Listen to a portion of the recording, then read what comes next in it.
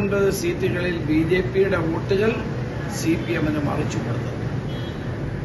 അതുകൊണ്ടാണ് ഇപ്പോഴും ദേവഗൌഡ പറഞ്ഞത് എത്ര ശരിയാണ് മുൻ പ്രധാനമന്ത്രിയാണ്. അദ്ദേഹത്തിന്റെ വാക്കുകൾ നമ്മൾ നമ്മൾ അവഗണിക്കേണ്ട യാതൊരു കാര്യവുമില്ല. അപ്പോൾ ബി ജെ പിയുമായി സഖ്യം ചേരാൻ ജനതാദൾ എസിനോട് ഉപദേശിച്ചത് തന്നെ മുഖ്യമന്ത്രിയാണ് എന്നാണ് ഇപ്പോൾ പുറത്തു വരുന്നത്.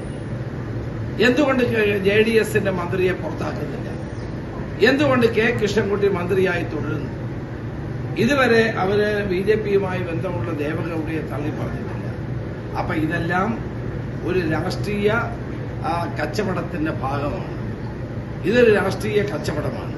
ബി ജെ പിയുമായി ചേർന്നുകൊണ്ടുള്ള കേരളത്തിലെ മുഖ്യമന്ത്രിയുടെ കച്ചവടമാണ്. ആ കച്ചവടമാണ് ഇപ്പോൾ പുറത്തു വന്നിരിക്കുന്നത്. ഇതെന്ത് പറഞ്ഞാലും ശരി കേരളത്തിലെ ബി ജെ പിയും സി പി എമ്മും തമ്മിലുള്ള രാഷ്ട്രീയ ബന്ധം മറനീക്കി പുറത്തു വന്നിരിക്കുകയാണ്. മുഖ്യമന്ത്രിയുടെ മറുപടി പറയാൻ ബാധ്യസ്ഥരാണ്. ഏറ്റവും പുതിയ വാർത്തകളും വിശേഷങ്ങളും വിരൽത്തുമ്പിലറിയാൻ സി മലയാളം ന്യൂസ്. എല്ലാ ഡിജിറ്റൽ പ്ലാറ്റ്ഫോമുകളിലും ലഭ്യം.